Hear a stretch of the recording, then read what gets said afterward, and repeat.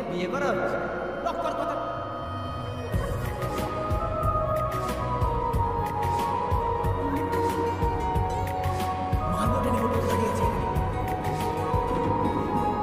রোজ